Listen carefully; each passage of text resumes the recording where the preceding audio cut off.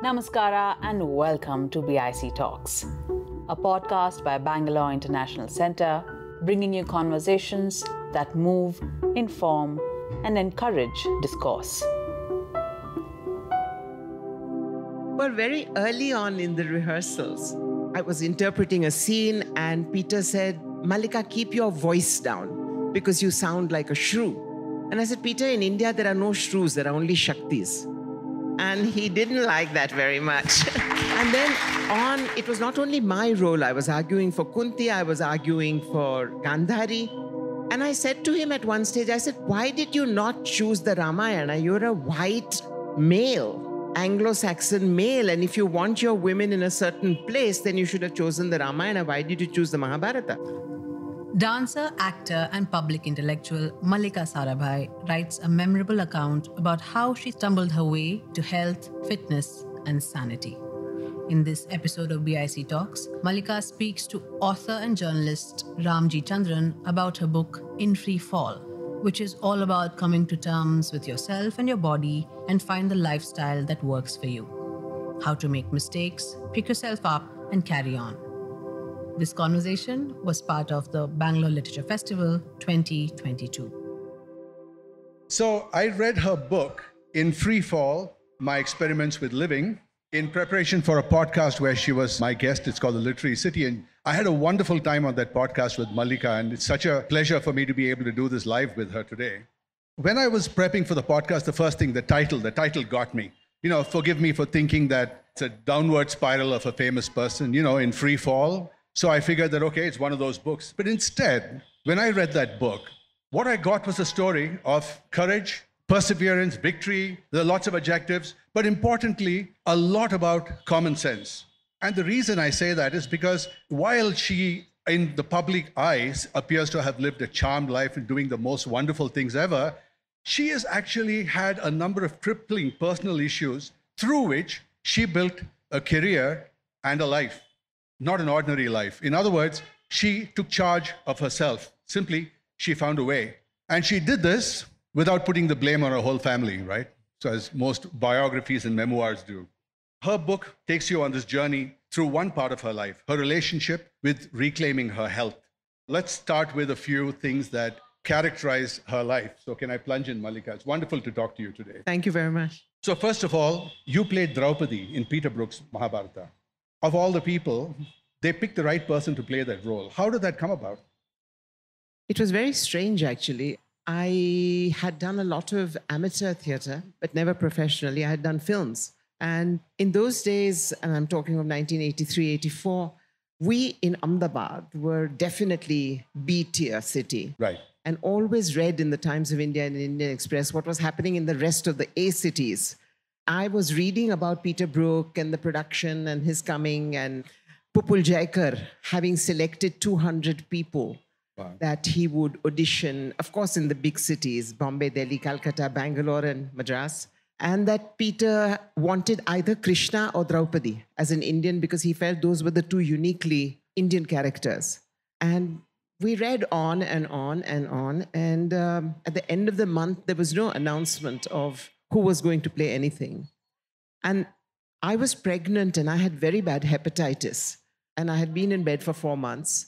And I got a telegram. In those days, there were telegrams. Yes. I got a telegram from the cultural attache of the French embassy one morning. It was April 84, saying, Are you in Ahmedabad? Because I want Peter Brook to come down to see you.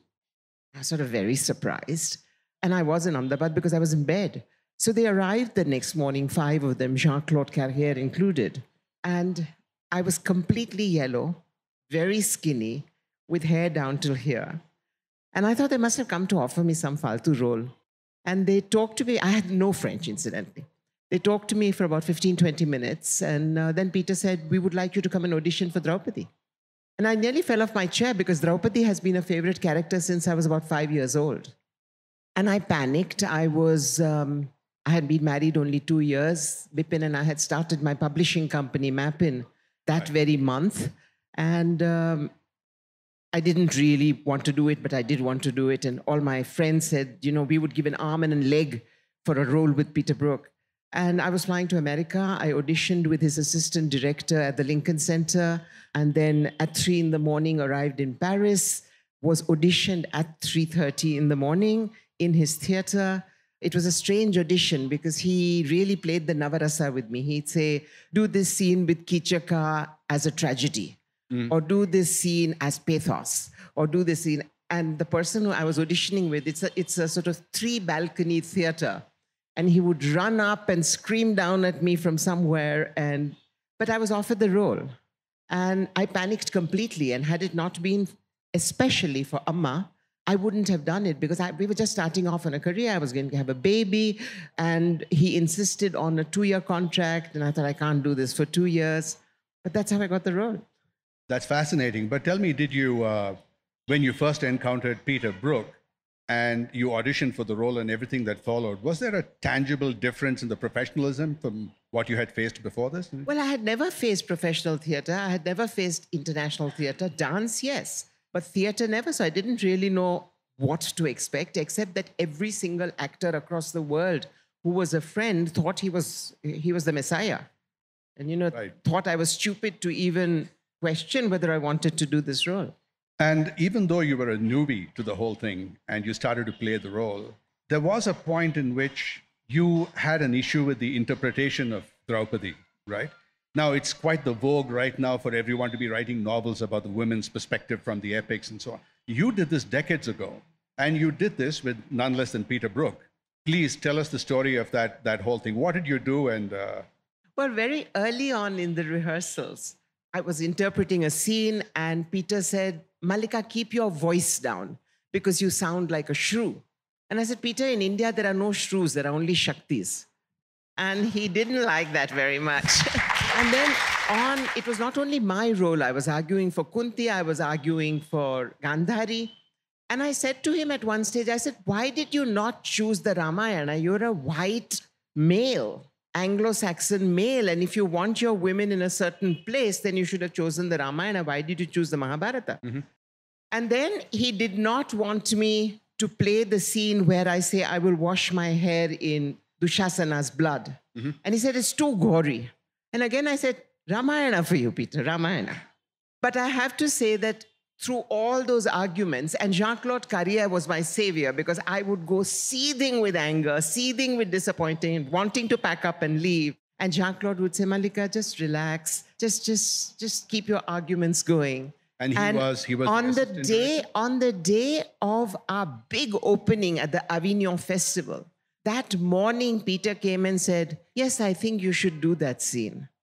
And when you when you asked him, when you suggested to him that you were less than happy with doing a fairy tale version of the Mahabharata, his first response to you was dismissive, monosyllabic. You said, Yes, Peter was somebody who didn't like to be contradicted or questioned when he was with the other acolytes. And uh, if you went to him in his office and said, I think this interpretation needs looking at, he would agree. And then he would come and present it to the group as his point of view. "Ah, and and that for me was somewhat problematic because i'm a very impulsive person. When i think of something i say it and it gets me into a lot of trouble. But with peter i learned that and i have to say that it was a two year tumultuous relationship uh, before we settled down. And then at press conferences peter would have me sitting on the stage and after a very nice session he would say and now if you want to hear my horrible sides i present to you mallika sarabhai You know, one of the things is that you capitalized on whatever you did, but more than anything else, you have uh, been very uh, true to the arts, to the art form. And it occurs to me from everything I've seen and read is that you've not taken any shortcuts. You haven't pandered to clickbait. You've been an artist. What's with what's going on now? Do you suggest that people still hold themselves to an artistic standard? You know, when I was growing up, Amma was doing things like using Bharatanatyam to talk of Dalit atrocities, using Bharatanatyam, which is a form of Shringara, to talk about dowry deaths in Saurashtra before the word dowry death was coined. And I thought all artists did that with their art, to be very rudely shocked to find out when I became a professional that she was an exception. I think that remains so. There has been in recent years a lot of exploration by writers of suddenly rediscovering Draupadi and Sita and so on and so forth, and, and of dancers in choreographic styles. But in actual content, the work is still very much within the realms of Saundarya Lahari or uh, Krishna stories reinterpreted from a different side or finding another epic or finding another part of the Vedantic question. I think the need of artists or the gumption or gall of artists to actually use performance or writing or whatever. Writing is much more, but performance to talk about things that really concern them and that can get them into trouble is still unfortunately very far between. And I think that in the kind of situation we are today in India and the world, the arts are about the only form, and I mean the arts in the largest sense, which can actually reach out against the walls of prejudice and walls of hatred and walls of exclusion that we have built. And to not use that language, to me, is giving up on being a citizen, giving up on being a part of a human race that desperately needs a change of course. And I just feel very sad about it. There was a time we heard these stories, and I'm sure in dance, and I know a little bit about the music end of the business, when people took years in perfecting their art form. I can understand that in, uh, in pop culture, the quicker you are to the market, the better it is. Is there a danger that classical is as well as getting to that point where it's question of quick fame? There aren't shortcuts to using language. As Geetanjali was saying just now, she has the permission to use it into quotes incorrectly because she knows how to do it correctly. And this is something that I learned from my mother very much that you had to you had to have the art form in your DNA before you start change. So if somebody challenges me and says, do a Pandanallur Margam, I can get up just now and do it. And it's because I have the grammar and I practice the grammar every day that I give myself the permission to wrangle with the grammar and the content, not otherwise. Uh, you said something to me on the podcast that completely cracked me up. You had a variation of Bharatanatyam. You know, in Gujarat, we are very rightly called a society of business people. And business goes into the arts as well. So there are teachers, and many of them are my students as well, who, depending on what you are willing to pay, the basic seven year course gets shorter and shorter. And in Gujarat, I say that Bharatanatyam has become Taratanatyam. Tarata is Turant in Hindi. So, yes, Taratanatyam is very available in Gujarat. And around the world, I have to I say, imagine. including in Madras and Bangalore. I imagine, yes, that's right. Now, the uh, business of, uh, of what's happening in the industry, it's, it's, something, it's something of a corruption. I'm. Which industry? And the arts and the classical arts. I'm specific about the classical arts and how the classical arts are coming to uh, bear. You mentioned Taratanatyam, for instance. But the standards that people hold themselves to, or the standards that the gurus hold their sishyas to, has been deprecating a little bit. Now, I understand it's a form of corruption, uh, the way you said it. Again, corruption is something that you railed against from a, from a very early age. Now, you, barely out of your teens, did an IIM from Ahmedabad, and then you got a PhD in organizational behavior. The two are connected. You did the PhD in organizational behavior for a reason. I went to a tiny Montessori school. It was the first Montessori school in India. It's called Shreyas.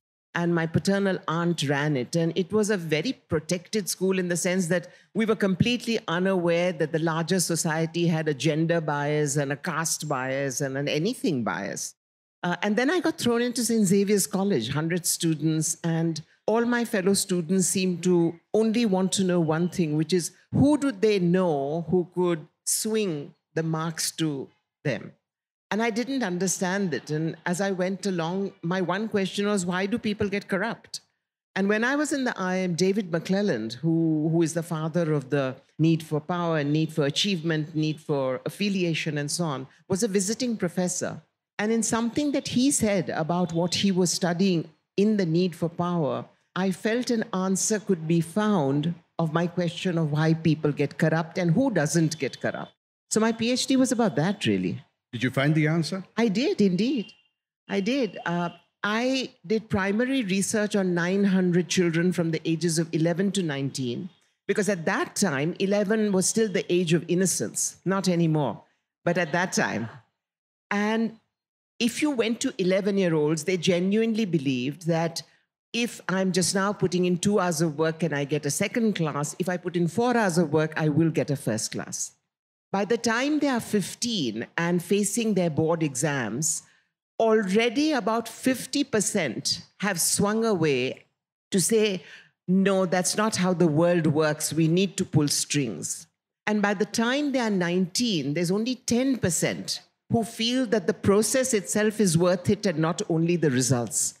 And I tried to find out what was common in this 10%. Was it demography? Was it the medium of education? Was it the kind of school they went to, the kind of family they came from? No.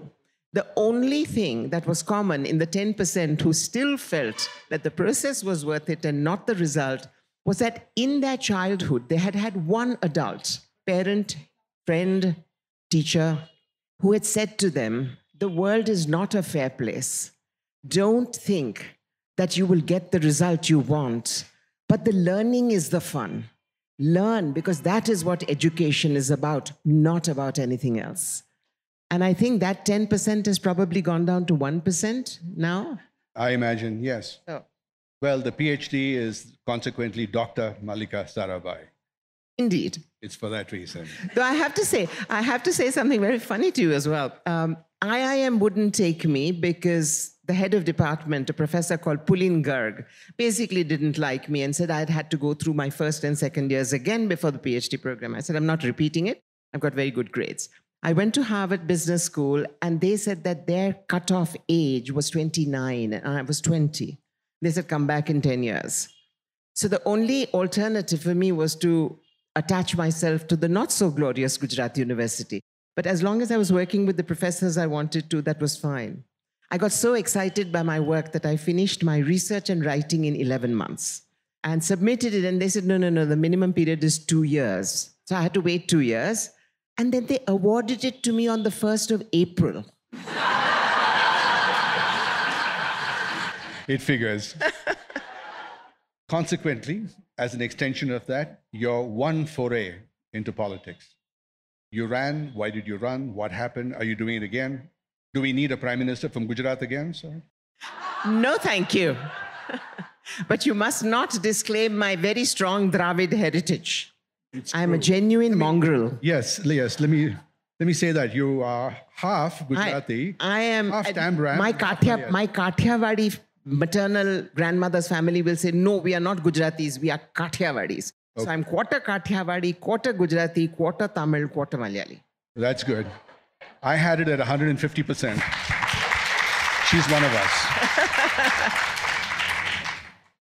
the politics. In 2002, after the pogrom in Gujarat, I felt that people who genuinely wanted to govern the country, to see that the last person got a leg up, needed to get together, whatever their political ideology. So I went around the country for the next six or seven years, talking at large gatherings to young people, to Rotarians, to women's groups, saying, we need to put aside political ideology, commit ourselves to making India a more just and a better place for all the voiceless people, and commit seven years, two years before an election, to working in the area you are going to stand from, in getting a credibility that you are there to actually work and not to just become five times richer in five years, which is what happens all the time. And I said, if, if I can gather together 200 people and they stand, and if even 30 get elected, that will be a huge chunk in parliament, enough to actually make a difference. And I said to people, you will never be re elected. So this is a seven year stint because you will not indulge in corruption. You will not indulge in adding to your kitty by playing the industrialist way. You will actually govern and you will govern using all that is available to us, all the schemes that are available to us, and see that the last person gets affected by them. In 2008, 2009, not one person had actually committed. So in 2009, I thought, okay, let me at least try and see if one can even do the electoral process transparently and correctly. And on an off chance, I don't know, maybe, I had asked the Congress not to put a candidate against me. But the Congress itself has so many skeletons in the Gujarat Congress that they did not want me to be there questioning them. So I stood as an independent. And when you stand as an independent from somewhere as important as the Gandhinagar Ahmedabad constituency, all the parties become an old boys club. Mm-hmm. So anything I did, any kind of complaint I made about violation of rules, they would become a club. My violation of rules comment wouldn't be looked at for 15 days. But in those 30 days, it has been the biggest learning curve of my life. I used to leave at six o'clock in the morning, and over 30 days, I have met and have notes of the complaints of 2 lakh people. 2 lakh people. I have got a room full of notes saying, Dai Ben from such and such village says that for seven years they've not had a bridge across the Nalla and therefore the children don't go to school in four months. Now, I challenge anybody in this country who has stood for political office to come up with a database like that. And when I lost, I went to my constituents and I said, listen, I've lost, but Mr. Advani, for the first time in 20 years, moved to Gandhinagar for three weeks. At least you got to see who you are electing with in such a short span so much such a packed life and when you do write your memoir it's all about your battles with health. And it just doesn't add up. How is it that somebody who can achieve that much in dance which is a very physically demanding form can write a memoir? This is not an autobiography. It's a specific memoir about a specific part of your life. And that's what makes it highly compelling one of the things that I want to say is that this book is a, is a compendium of alternate therapies. And it's fascinating that while somebody in your position had access to every single allopathic therapy in the world, you decided to take it upon yourself with the same zeal that you did everything else to dive into alternate therapies as such. It's all in the book. I'm not going to outline all of that. But you quit smoking in your discovery. You say you were, you don't know you were hypnotized or you weren't hypnotized. For all those people who are trying to quit smoking right now, hypnosis, does it work? Tell us the story. What happened? I didn't want to get married. I didn't think I wanted children. But I said to myself that if I ever want a child, I'll quit smoking a year before I get pregnant because it wouldn't be fair on the child. I met a man that I thought, I really want to marry this guy. And one year down the line, we wanted a child. But before my wedding, I was in New York and I was with a friend and I said, I want to quit smoking. But every time I quit smoking, I eat so much, I put on weight and I hate being fat. And she said, There's a marvelous Jewish psychologist and he specializes in smoking and weight loss. And it's very difficult to get an appointment, but let me try. So I got an appointment and I went into this gentleman's clinic and uh, before I even got to him, I was asked to pay $200, which was a lot of money then. And um, one part of me was saying, You're an actress. You're going to act this out. Nothing's going to make you hypnotized. And I went in, and there's this typical Jewish man. I mean, Woody Allen characters are like that, sort of bent over and, you know, like this. And he says, um, Your friend tells me you're an actress, then this is going to be very easy for you. Uh, so why don't you lie down here? And then he started talking to me about, uh, he count down, count down to five, you're now fast asleep, you listen to what I say. And he started talking to me about how wonderfully filled with oxygen I would feel running up a hill. And I'm lying there saying, I dance. I dance five hours and I'm not breathless. And uh, this is rubbish, you know. And, and then he started talking to me about the horrors of cancer. Imagine the mouth and imagine this and imagine that. And, and I was imagining and still saying to myself, Sally actress hai kya yaar? And uh, 10 minutes later or 15 minutes later, he says, Okay, uh, he empties my bag. There are two packets of Dunhill, which are very, very difficult to find in New York. He jumps on them and smashes them. He gives me his card and he says, This is where I am. I'm in Miami and Los Angeles and here every week. Call me collect if you ever want to smoke again. So I go out and I say, This is not going to work. And I'm early for a lunch appointment. I'm walking uptown and I'm looking for a place where I can buy British cigarettes. I have never smoked since then, ever. And people, people say to me in one 20 minute session, and I say, yes, and I've tried to find another hypnotist, and lots of my friends have tried hypnotists who, who have 30 sessions, 20 sessions, 25 sessions, and they still end up smoking. So I'm not sure whether it was because I really wanted to quit or it was the marriage of wanting to quit and his hypnosis, non hypnosis, but it was something. Does it work for weight loss? My book will work for weight loss. I agree. it's true. It's true.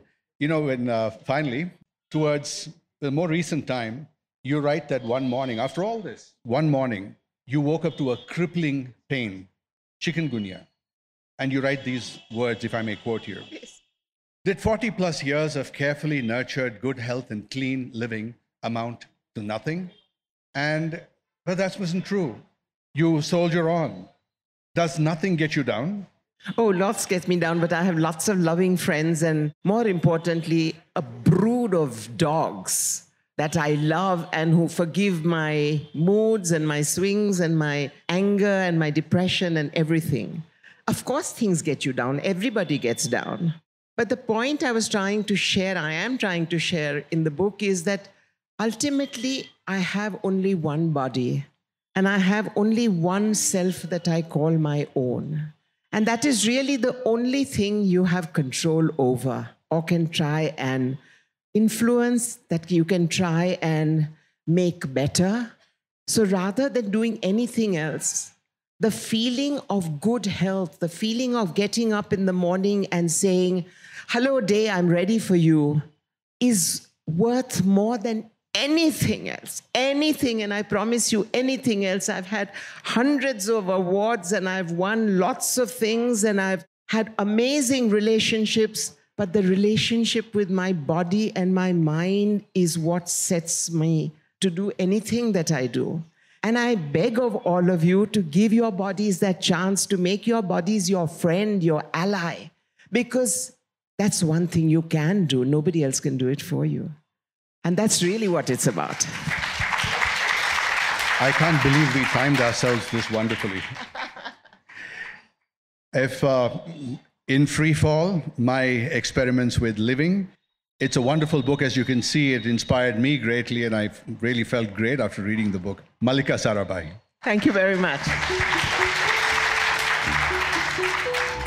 Thank you for staying on for the full conversation. If you liked what you heard, please share it with family and friends. You can also leave us a review on iTunes or Apple Podcasts. The crew that makes these podcasts possible are Gaurav Krishna and Ishan Gupta on sound supervision and production, with support from S. Sarvanaraj and Raghavendra Tenkaila. Artwork and design is by Chandni Venkataraman of Crisscross Design Studios don't forget to subscribe to our channel on your favorite podcast platform. It can also be accessed on our website, bangaloreinternationalcenter.org. Do follow us on Instagram, Facebook, and Twitter to get regular updates on our programming. This is Lekha Naidu signing off on behalf of everyone at BIC.